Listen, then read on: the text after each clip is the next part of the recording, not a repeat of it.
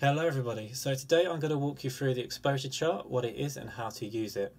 Now this chart has all the technical information you need to get started with beginner photography. If you'll have a look, it's got four sections on it, aperture, brightness, shutter speed and ISO.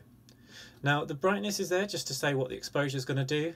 Anything that moves your from the right hand side to the left hand side will make the picture brighter. Anything that moves from the left hand side to the right hand side will make the picture darker. For example, if you start at f2 and then you push towards f32, the picture is going to be getting darker.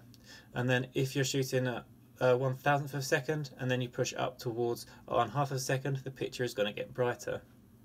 Now if we have a look at the aperture section, uh, we can see here we've got f2. This is a wide open aperture and if we look at the background, the background is going to be out of focus if we start moving up the f-stops until we get to f32, we're going to have a really small aperture and the depth of field is going to be much wider, so the background's more likely to be in focus.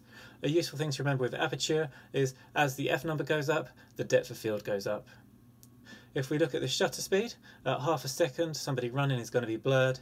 And then as we go up the shutter speeds, when we get to about a thousandth of a second, the person's going to be sharp. Now if we look at the ISO, we can see here we've got ISO 6400. This is going to be really grainy. And then as we go down the ISO settings to ISO 50, for example, there will be no grain in the picture at all.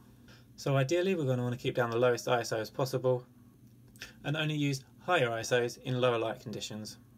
Now grain will look slightly different on different cameras, some will handle it better than others, but they will always find the higher the ISO, the grainier the picture. So guys, I hope you found this chart useful. I say I'll show you how to download it at the end of the video. Uh, if you print this off and keep it in your camera bag, you'll have all the information you need to get the shots that you want. To download this exposure chart, just go through to my website, paul-thys.co.uk forward slash file share. I'll drop the link in the description below. And then we go through and we look for the exposure chart.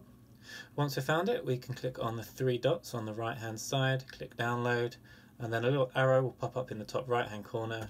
We click on that, and we double click on exposure chart, and here it is. Okay guys, so I hope you found this video useful, and I'll see you in the next one.